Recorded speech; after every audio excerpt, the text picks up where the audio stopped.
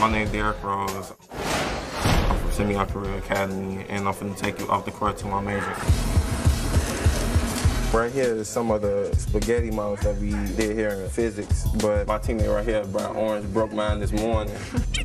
this is one of my um, favorite teachers in the school, Miss Hicks. Derrick is a unique person with all this uh, hoopla and attention.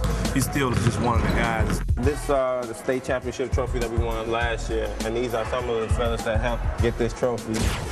Uh, hopefully, we'll be able to repeat this year. Good, there you go. Good job, get on the floor. Good job. Derrick has definitely helped to start that image up about Illinois and Chicago and basketball again. Right. This is your boy D Rose. Thank you for hanging with me off the court. Now it's time to get back on.